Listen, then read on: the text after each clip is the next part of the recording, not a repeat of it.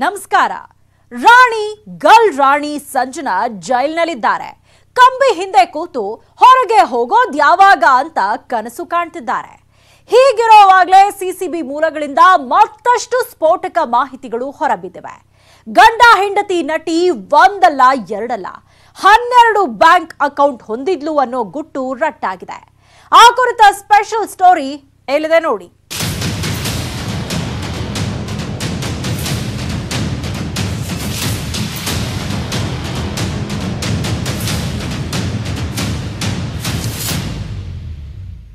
ಸ್ಯಾಂಡಲ್ವುಡ್ನಲ್ಲಿ ಮಾದಕ ಜಾಲ ಇದೆ ಅನ್ನೋ ಸ್ಫೋಟಕ ಸತ್ಯ ಹೊರಬಿದ್ದಾಗಿನಿಂದಲೇ ರಾಣಿ ಗಲ್ರಾಣಿ ಸಂಜನಾ ಸಾಕಷ್ಟು ಹೈಡ್ರಾಮಾ ಮಾಡ್ತಿದ್ರು ಡ್ರಗ್ ಅನ್ನೋ ವಿಷಯನೇ ಗಲೀಜು, ಅಸಹ್ಯ.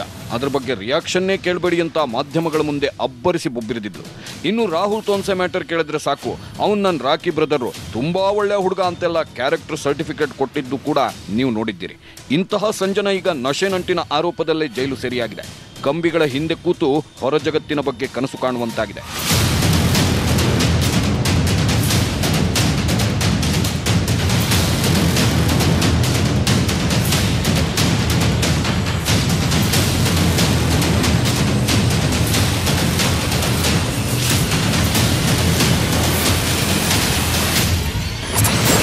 ಗಂಡ ಹೆಂಡತಿ ನಟಿಯ ಮತ್ತಷ್ಟು ಸ್ಫೋಟಕ ಮಾಹಿತಿ ಬಹಿರಂಗ.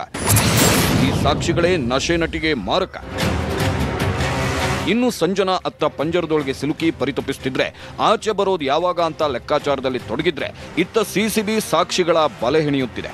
ಗಲ್ರಾಣಿಯನ್ನು ಮತ್ತಷ್ಟು ಮಗದಷ್ಟು ದಿನಗಳ ಜೈಲಿನ ವಾಸಕ್ಕೆ ಫಿಕ್ಸ್ ಮಾಡೋಕೆ ಬೇಕಾದ ದಾಖಲೆಗಳನ್ನು ಸಿದ್ಧಪಡಿಸಿಕೊಳ್ಳುತ್ತಿದೆ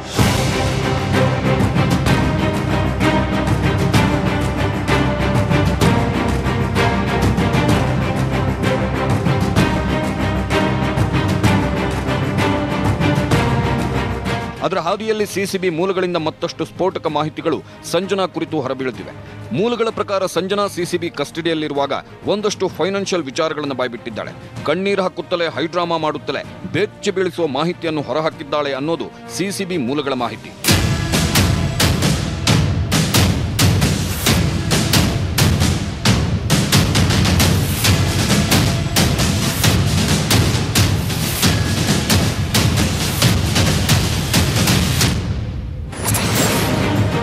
ಗಲ್ರಾಣಿ ನೌಟಂಕಿ ಆಟಕ್ಕೆ ಹಲವು ಅಕೌಂಟ್ ಸಂಜನಾ ಹೆಸರಲ್ಲಿ ಒಂದಲ್ಲ ಎರಡಲ್ಲ ಡಜನ್ ಬ್ಯಾಂಕ್ ಖಾತೆ. ಎಸ್ ಮಾಹಿತಿ ಪ್ರಕಾರ ಸಂಜನಾ ಗಲ್ರಾಣಿ ಒಂದಲ್ಲ ಎರಡಲ್ಲ ಹನ್ನೆರಡು ಬ್ಯಾಂಕ್ ಅಕೌಂಟ್ ಹೊಂದಿದ್ದಾಳಂತೆ. ಬೇರೆ ಬೇರೆ ಬ್ಯಾಂಕ್ಗಳಲ್ಲಿ ಈ ಖಾತೆಗಳನ್ನು ಹೊಂದಿದ್ದು ಈ ಖಾತೆಗಳಿಗೆಲ್ಲ ವಿದೇಶಗಳಿಂದ ಅಕ್ರಮ ಹಣ ಜಮೆಯಾಗಿದೆಯಂತೆ. ಸಾಕಷ್ಟು ವಹಿವಾಟು ನಡೆಸಿರುವ ಸಂಜನಾ ಸಿಸಿಬಿ ಬಂಧನಕ್ಕೂ ಮುನ್ನ ಲಕ್ಷಾಂತರ ಹಣವನ್ನು ಅಕೌಂಟ್ನಿಂದ ತೆಗೆದಿದ್ದಾರೆ ಎನ್ನಲಾಗ್ತಿದೆ.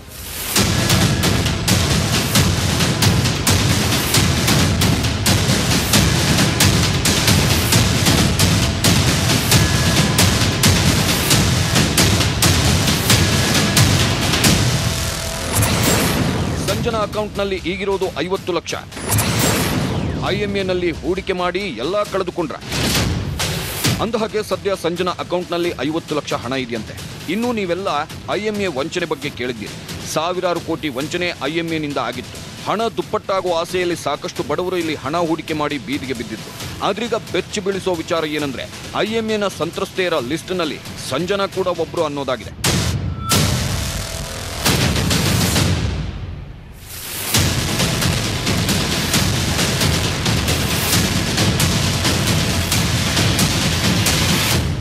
ಎಸ್, ಹಣ ದುಪ್ಪಟ್ಟು ಮಾಡಿಕೊಳ್ಳೋ ಆಸೆಯಲ್ಲಿ ನಾನು ಐಎಂನಲ್ಲಿ ಹಣ ಹೂಡಿಕೆ ಮಾಡಿದ್ದೆ. ಅದರಿಂದ ಲಕ್ಷಾಂತರ ಹಣ ಕಳೆದುಕೊಂಡಿದ್ದೇನೆ ಅಂತ ಸಿಸಿಬಿ ವಿಚಾರಣೆ ವೇಳೆ ಕಣ್ಣೀರು ಹಾಕೊಂಡು ಸಂಜನಾ ಹೇಳಿಕೊಂಡಿದ್ದಾರೆ ಎಂಬ ಮಾಹಿತಿ ಇದೆ. ಇನ್ನು ಇದು ಸಂಜನಾ ಕಥೆಯಾದರೆ ಮತ್ತೊಬ್ಬ ನಟಿ ಕಮ್ ಆಂಕರ್ ಅನುಶ್ರೀಗೂ ಸಿಸಿಬಿ ವಿಚಾರಣೆಯ ತೂಗುಗತ್ತಿ ತಲೆಯ ಮೇಲಿದೆ.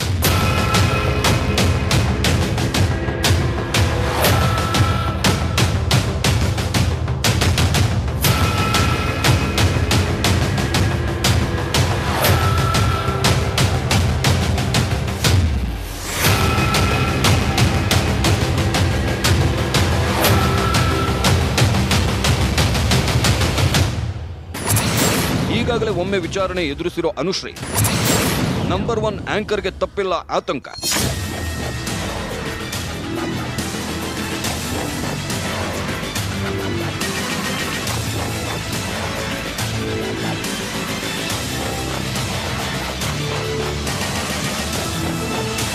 ಕನ್ನಡ ಕಿರುತೆರೆಯ ನಂಬರ್ ಒನ್ ನಿರೂಪಕಿ ಕಂ ನಟಿ ಅನುಶ್ರೀಗೆ ಸೆಪ್ಟೆಂಬರ್ ಇಪ್ಪತ್ನಾಲ್ಕರಂದು ಮಂಗಳೂರು ಸಿಸಿಬಿ ನೋಟಿಸ್ ನೀಡಿತ್ತು. ಮರುದಿನ ವಿಚಾರಣೆಗೆ ಹಾಜರಾಗಲು ಸೂಚಿಸಿತ್ತು. ಅದರಂತೆ ಮರುದಿನ ಮಂಗಳೂರಿಗೆ ಪಯಣ ಬೆಳೆಸಿದ್ದ ಅನುಶ್ರೀ ವಿಚಾರಣೆಗೆ ಚಕ್ಕರ್ ಹೊಡೆದಿದ್ರು ಕೊನೆಗೆ ಸೆಪ್ಟೆಂಬರ್ ಇಪ್ಪತ್ತಾರರಂದು ಸಿಸಿಬಿ ಕಚೇರಿಗೆ ಹಾಜರಾಗಿದ್ರು. ಸಿಸಿಬಿ ಪೊಲೀಸರ ಪ್ರಶ್ನೆಗಳಿಗೆ ಉತ್ತರಿಸಿದ್ರು. ಇನ್ನು ಸಿಸಿಬಿ ವಿಚಾರಣೆ ಮುಗಿಸಿ ಬಂದ ನಂತರ ಮಾಧ್ಯಮಗಳ ಜೊತೆ ಮಾತನಾಡುವಾಗ ಅನುಶ್ರೀ ಬಹಳ ಜೋಶ್ನಲ್ಲಿದ್ರು. ವಿಚಾರಣೆ ಎದುರಿಸಿದೆ ಅಂದ ತಕ್ಷಣ ನಾನು ಅಪರಾಧಿಯಲ್ಲ. ನನಗೂ ಈ ಕೇಸ್ಗೂ ಸಂಬಂಧವಿಲ್ಲ. ನಾನೇನ್ ತಪ್ಪು ಮಾಡಿಲ್ಲ. ಸಿಸಿಬಿ ಬಂಧಿಸಿರೋ ತರುಣ್ ಹಾಗೂ ಕಿಶೋರ್ ಶೆಟ್ಟಿಗೆ ನಾನು ಪರಿಚಯ ಅನ್ನೋ ಕಾರಣಕ್ಕೆ ನನ್ನಿಂದ ಒಂದಷ್ಟು ಮಾಹಿತಿ ಪಡೆಯೋಕೆ ಕರೆಸಲಾಗಿತ್ತು ಅಂತ ಹೇಳ್ಕೊಂಡಿದ್ರು. ಅವರ ಪರಿಚಯದ ಕಾರಣ ಇನ್ಫಾರ್ಮೇಶನ್ಗೋಸ್ಕರ ಅವರು ನನ್ನ ಕರೆದ್ರು. ಅವ್ರು ಏನೆಲ್ಲ ಪ್ರಶ್ನೆಗಳನ್ನ ಕೇಳಿದಾರೆ ಎಲ್ಲದಕ್ಕೂ ನಾನು ಕರೆಕ್ಟ್ ಆಗಿ ಆನ್ಸರ್ ಮಾಡಿದೆ ಹನ್ನೆರಡು ವರ್ಷಗಳ ಮುಂಚೆಂದು ಕೊರಿಯೋಗ್ರಾಫರ್ ಅವರು. ಆಗ ಅವ್ರು ಏನ್ ಮಾಡ್ತಿದ್ರು ನಮ್ಗೆ ಇಲ್ಲ ಇಲ್ಲ. ಆತರ ಎಲ್ಲ ಯಾರ ಹತ್ರನು ನಾನು ಜಾಸ್ತಿ ಟಚ್ ಅಲ್ಲೆಲ್ಲ ಇರುದಿಲ್ಲ ಸರ್ ಅವ್ರ ಸರ್ ಅಲ್ಲಿ ಏನೇನ್ ಪ್ರಶ್ನೆಗಳನ್ನ ಕೇಳಿದ್ರು ಹೇಗೆ ಪರಿಚಯ ಎಲ್ಲವನ್ನ ಅವ್ರು ಕೇಳಿದ್ರು ಎಲ್ಲವನ್ನ ನಾವು ಹೇಳಿದೆ. ಅನುಶ್ರೀಗೆ ಕಾದಿದೆಯಾ ಮತ್ತಷ್ಟು ಸಂಕಷ್ಟ? ನೈಜೀರಿಯನ್ ಪೆಟ್ಲರ್ ಅನುಶ್ರೀ ಬಗ್ಗೆ ಹೇಳಿದ್ದೇನು?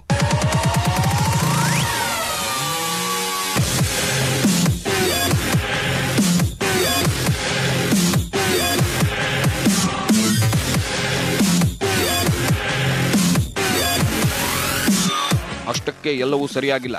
ಅನುಶ್ರೀಗೆ ಆತಂಕ ತಪ್ಪಿಲ್ಲ.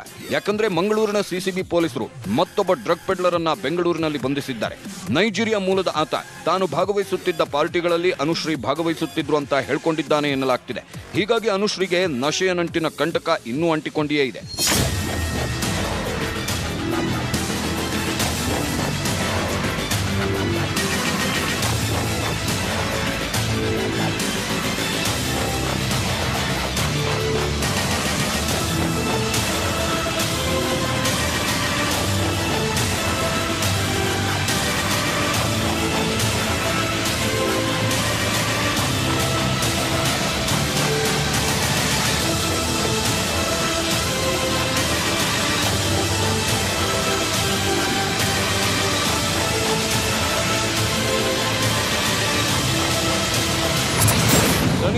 ಹಾದಿಯಲ್ಲಿ ಇನ್ಸ್ಪೆಕ್ಟರ್ ವರ್ಗಾವಣೆ.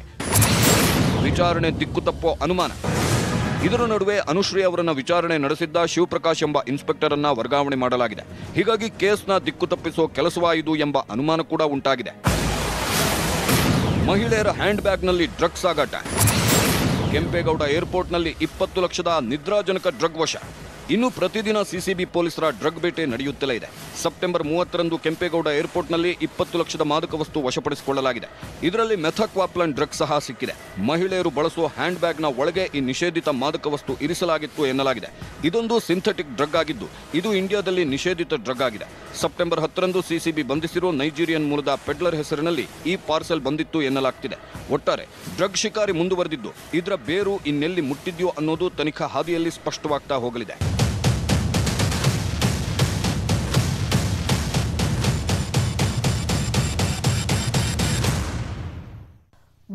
ಬಾಲಿವುಡ್ ಮಾದಕ ಲೋಕದ ಮತ್ತಷ್ಟು ಕಿಂಗ್ ಡಾನ್ಗಳಿಗೆ ಎನ್ಸಿಬಿ ಬಲೆ ಬೀಸಿದ್ಯಂತೆ.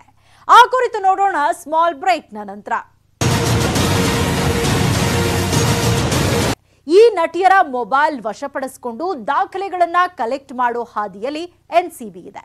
ಹೀಗಿರೋವಾಗ್ಲೇ ಬಿ ಟೌನ್ ಬಿಗ್ ಫಿಶ್ಗಳ ಬೇಟೆಗೆ ಜಾಲ ಎಣಿಯಲಾಗಿದೆ. ಎನ್ಸಿಬಿ ಮುಂದೆ ಎಸ್ ಎ ಆರ್ ಡಿ ಅನ್ನೋ ಲೆಟರ್ ಇವೆ ಎನ್ನಲಾಗ್ತಾ ಇದೆ.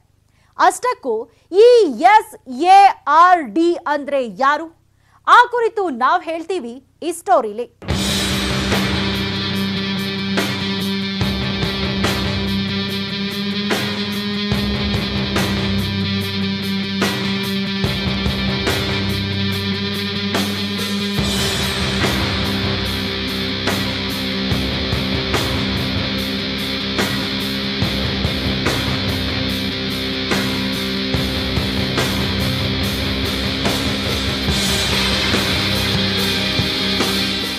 ಸುಶಾಂತ್ ಸಿಂಗ್ ಅಸಹಜ ಸಾವಿನ ಪ್ರಕರಣದ ಬೆನ್ನತ್ತಿ ಹೊರಟ ಕೇಸ್ ಸಾಕಷ್ಟು ತಿರುವು ಪಡೆದುಕೊಂಡಿದೆ. ಸಿನಿಮಾ ರಂಗದ ಮತ್ತೊಂದು ಮುಖವಾಡವನ್ನು ಕಳಚಿದೆ. ನಟ ನಟಿಯರ ನಶೆಯ ನಂಟಿನ ಗುಟ್ಟು ಬಟಾ ಬಯಲಾಗಿದೆ. ತೆರೆ ಮೇಲೆ ಉದ್ದುದ್ದ ಡೈಲಾಗ್ ಹೊಡಿತಿದ್ದವರು ಸಮಾಜಕ್ಕೆ ಮೆಸೇಜ್ ಕೊಡ್ತಿದ್ದವರು ಇಂದು ಆರೋಪಿ ಸ್ಥಾನದಲ್ಲಿ ನಿಲ್ಲುವಂತಾಗಿದೆ.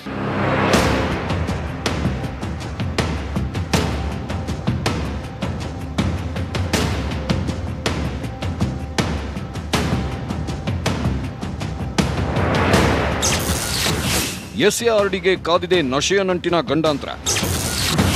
ಸುಪ್ರಸಿದ್ಧ ನಟರಿಗೆ ಎನ್ಸಿಬಿ ಬಲೆ.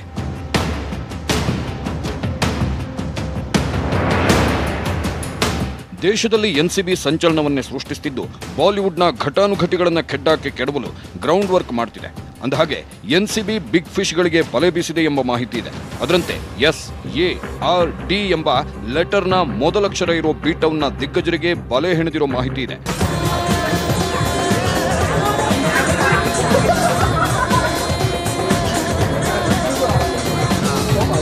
ಇದಕ್ಕೆ ಉತ್ತರವಾಗಿ ಈ ಒಗಟು ಬಿಡಿಸುವ ಕೆಲಸವೂ ನಡೆದಿದ್ದು ಬಿ ಟೌನ್ನಲ್ಲಿ ಈ ಇನಿಷಿಯಲ್ಗಳನ್ನು ಆಧರಿಸಿಯೇ ಹೆಸರುಗಳು ಖುಲ್ಲಂ ಖುಲ್ಲ ಆಗ್ತಿವೆ.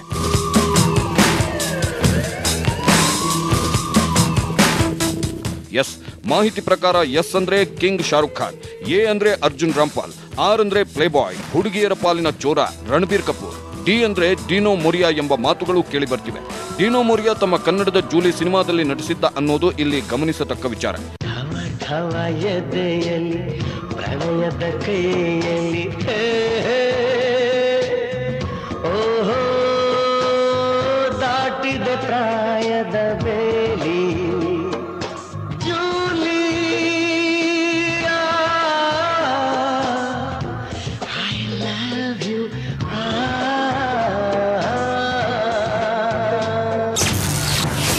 ದಿಗ್ಗಜರಿಗೆ ಸಮನ್ಸ್ ಕೊಟ್ರೆ ನಲ್ಲಿ ಸುನಾಮಿ. ಈ ನಟರಿಂದ ಬಯಲಾಗುತ್ತಾ ಮತ್ತಷ್ಟು ಕರಾಳ ಚರಿತ್ರೆ.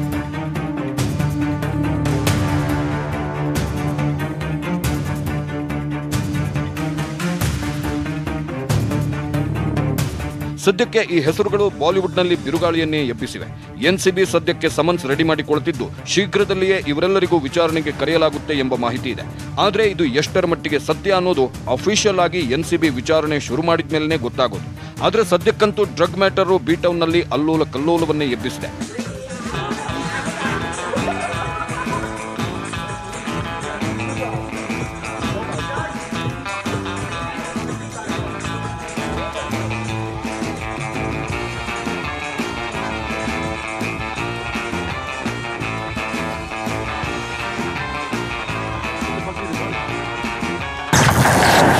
ಟಿಪ್ಪಿ ವಾಟ್ಸಪ್ ಚಾಟಿಂಗ್ ಗುಟ್ಟು ರಟ್ಟು.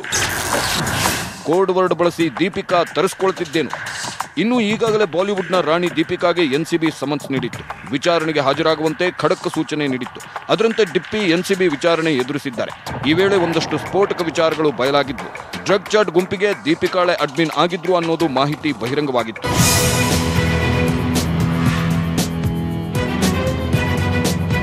ಇನ್ನು ಆ ಗ್ರೂಪ್ನಲ್ಲಿ ಒಂದಷ್ಟು ಕೋಡ್ ವರ್ಡ್ಗಳನ್ನು ಬಳಸಿ ಚಾಟ್ ಮಾಡಲಾಗಿತ್ತು. ಮ್ಯಾನೇಜರ್ ಕರಿಷ್ಮಾ ಜೊತೆ ಡಿಪ್ಪಿ ಈ ವಿಚಾರವಾಗಿ ಸಾಕಷ್ಟು ಚಾಟ್ ಮಾಡಿದ್ರು. ಇದ್ರ ಬಗ್ಗೆ ಎನ್ಸಿಬಿ ಪೊಲೀಸರು ವಿಚಾರಿಸಿದಾಗ ಡಿಪ್ಪಿ ಎಸ್ ಅಂತ ಒಪ್ಪಿಕೊಂಡಿದ್ದಾರೆ. ಕೋಡ್ ವರ್ಡ್ ಬಳಸಿ ಚಾಟ್ ಮಾಡಿರೋದು ನಿಜ ಅಂತ ಹೇಳಿದ್ದಾರಂತೆ.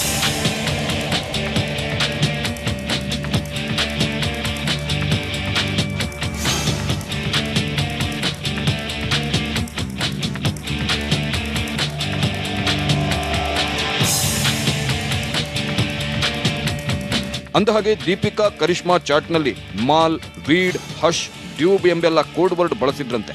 ಆದರೆ ಇದು ಡ್ರಗ್ಗೆ ಬಳಸಿರೋ ಪದಗಳಲ್ಲ. ಸಿಗರೇಟ್ನೇ ನಾವು ಈ ರೀತಿ ಕೋಡ್ ವರ್ಡ್ ಮೂಲಕ ಕರೆಯುತ್ತಿದ್ದು, ಕಡಿಮೆ ಗುಣಮಟ್ಟದ ಸಿಗರೇಟ್ಗೆ ಮಾಲ್, ಅತ್ಯುತ್ತಮ ಗುಣಮಟ್ಟದ ಸಿಗರೇಟ್ಗೆ ಹಶ್ ವೀಡ್, ಹೀಗೆ ದಪ್ಪ ಸಿಗರೇಟ್ಗೆ ಡ್ಯೂಬ್ ಅಂತ ಕರೀತಿದ್ವಿ ಅಷ್ಟೇ. ಅವೆಲ್ಲ ಡ್ರಗ್ಸ್ ಕೋಡ್ ವರ್ಡ್ ಅಲ್ಲ ಅಂತ ಎನ್ಸಿಬಿ ವಿಚಾರಣೆ ವೇಳೆ ದೀಪಿಕಾ ಹೇಳಿದ್ದಾರೆ ಎನ್ನಲಾಗ್ತಿದೆ. ಒಟ್ಟಾರೆ ನಟ ನಟಿಯರ ನಶೆಯ ನಂಟಿನ ಕೇಸ್ ಸದ್ಯ ತೀವ್ರಗತಿ ಪಡೆದುಕೊಳ್ಳುತ್ತಿದ್ದು, ಮುಂದಿನ ದಿನಗಳಲ್ಲಿ ಇನ್ನಷ್ಟು ಕರಾಳ ಮುಖಗಳು ಬಯಲಾಗುವ ಸಾಧ್ಯತೆಯನ್ನ ತಳ್ಳಿ ಹಾಕುವಂತಿಲ್ಲ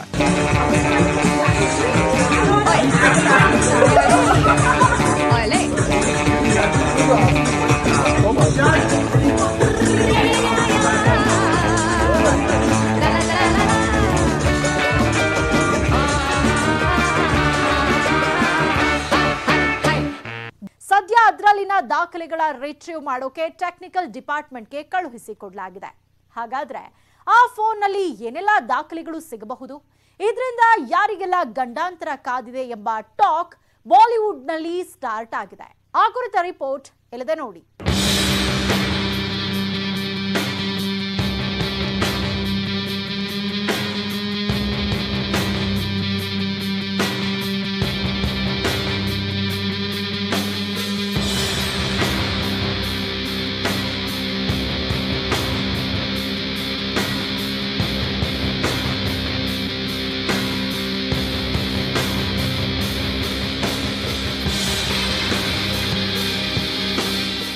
ಸುಶಾಂತ್ ಸಿಂಗ್ ಅಸಹಜ ಸಾವು ಪ್ರಕರಣ ಬೇರೊಂದು ತಿರುವು ಪಡೆದುಕೊಂಡಿದೆ.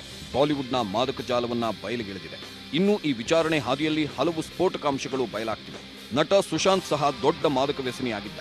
ಆತ ಶೂಟಿಂಗ್ ಬಿಡುವಿದ್ದಾಗಲೆಲ್ಲ ಡ್ರಗ್ ಸೇವಿಸುತ್ತಿದ್ದ ಚಿತ್ರೀಕರಣಕ್ಕೆ ಬರುವ ವಾಹನದಲ್ಲೇ ಡ್ರಗ್ ತೆಗೆದುಕೊಂಡು ಬರ್ತಿದ್ದ ಎಂಬೆಲ್ಲ ಮಾಹಿತಿಗಳನ್ನ ವಿಚಾರಣೆಗೆ ಹಾಜರಾಗಿರೋ ನಟಿಮಣಿಯರು ಬಾಯ್ಬಿಟ್ಟಿರೋ ಮಾಹಿತಿ ಇದೆ. ಅಷ್ಟೇ ಅಲ್ಲದೆ ಸುಶಾಂತ್ ತನ್ನ ತೋಟದ ಮನೆಯಲ್ಲಿ ಹೈ ಎಂಡ್ ಪಾರ್ಟಿಗಳನ್ನು ಆಯೋಜಿಸುತ್ತಿದ್ದಂತೆ ಅಲ್ಲಿ ಸಾಕಷ್ಟು ಬಾಲಿವುಡ್ನ ಸೆಲೆಬ್ರಿಟಿಗಳು ಪಾಲ್ಗೊಳ್ತಾ ಇದ್ರಂತೆ. ಹಾಗೆ ಅದರಲ್ಲಿ ಎಗ್ಗಿಲ್ಲದೆ ಡ್ರಗ್ ಸಪ್ಲೈ ಆಗ್ತಿತ್ತಂತೆ. ಈ ವಿಚಾರ ಸಹ ನಶೆಯ ನಂಟಿನ ಆರೋಪ ಎದುರಿಸುತ್ತಿರುವ ನಟಿಮಣಿಯರೇ ವಿಚಾರಣಾ ಅಧಿಕಾರಿಗಳ ಮುಂದೆ ಹೇಳಿಕೊಂಡಿದ್ದಾರೆ.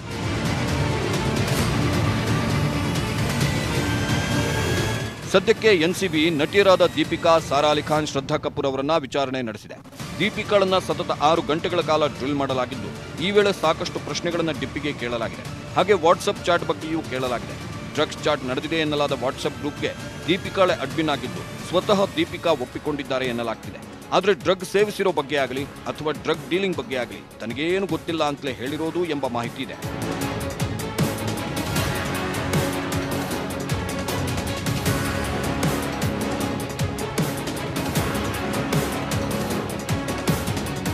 ಇನ್ನು ಇದೇ ವೇಳೆ ದೀಪಿಕಾ ಅವರ ಮೊಬೈಲ್ ವಶಪಡಿಸಿಕೊಳ್ಳಲಾಗಿದೆ. ಸದ್ಯ ಅದರಲ್ಲಿರೋ ದಾಖಲೆಗಳನ್ನು ರಿಟ್ರೀವ್ ಮಾಡೋ ಕೆಲಸಕ್ಕೆ ಎನ್ಸಿಬಿ ಮುಂದಾಗಿದೆ. ಮೊಬೈಲ್ನಲ್ಲಿನ ವಿಡಿಯೋ, ಫೋಟೋಸ್ ಹಾಗೆ ವಾಟ್ಸ್ಆಪ್ ಚಾಟ್ಗಳನ್ನೆಲ್ಲ ಆಧರಿಸಿ ಮುಂದಿನ ತನಿಖೆ ನಡೆಯಲಿದೆ. ಮತ್ತೊಮ್ಮೆ ವಿಚಾರಣೆಗೆ ದೀಪಿಕಾರನ್ನ ಕರೆಸುವ ಎಲ್ಲ ಲಕ್ಷಣಗಳಿವೆ. ಈ ವೇಳೆ ದೀಪಿಕಾ ಮೆಸೇಜ್ ಡಿಲೀಟ್ ಮಾಡಿರೋದಾಗಲಿ, ವಿಡಿಯೋ, ಫೋಟೋಸ್ ಡಿಲೀಟ್ ಮಾಡಿರೋದಾಗಲಿ ಕಂಡುಬಂದ್ರೆ ಅದರಿಂದ ದೀಪಿಕಾಗೆ ಮತ್ತಷ್ಟು ಸಮಸ್ಯೆ, ಸಂಕಷ್ಟ ತಪ್ಪಿದ್ದಲ್ಲ. ಯಾಕೆಂದ್ರೆ ಕನ್ನಡದ ನಟಿಮಣಿಯರಾದ ಸಂಜನಾ ಹಾಗೂ ರಾಗಿಣಿ ಸಹ ಮೆಸೇಜ್ ಡಿಲೀಟ್ ಮಾಡಿದ್ರು. ಈ ಮೂಲಕ ಸಾಕ್ಷಿ ನಾಶಕ್ಕೆ ಪ್ರಯತ್ನಿಸಿದ್ರು ಅನ್ನೋದೇ ಉರುಳಾಯಿತು. ಬೇಲರ್ಜಿ ವಜಾಗಿ ಕಂಬಿ ಎಣಿಸುವಂತಾಯಿತು.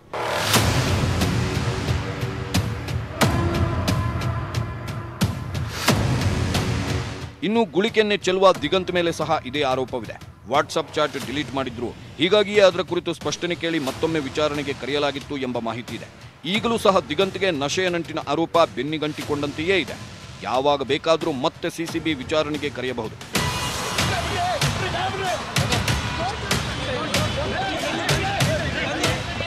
ಇನ್ವೆಸ್ಟಿಗೇಷನ್ ನಡೀತಾ ಇದೆ, ನಾವು ಕೋಆಪರೇಟ್ ಮಾಡ್ತಾ ಇದೀವಿ, ಮತ್ತೆ ಕರೆದಾಗ ಬರ್ತೀವಿ. ಸೊ ಎಲ್ಲ ನಿದರ್ಶನಗಳನ್ನು ಕಂಡಾಗ ಡಿಪ್ಪಿ ಮೊಬೈಲ್ನಲ್ಲಿ ಏನೆಲ್ಲ ಮಾಹಿತಿ ಸಿಗುತ್ತೆ, ಯಾವೆಲ್ಲ ದಾಖಲೆಗಳು ಸಿಗಲಿವೆ, ದೀಪಿಕಾ ಯಾವುದಾದ್ರೂ ಸಾಕ್ಷ್ಯನಾಶ ಮಾಡೋ ಪ್ರಯತ್ನ ಮಾಡಿದ್ದಾರಾ ಎಂಬೆಲ್ಲ ಅಂಶಗಳ ಮೇಲೆ ಈ ಕೇಸ್ಗೆ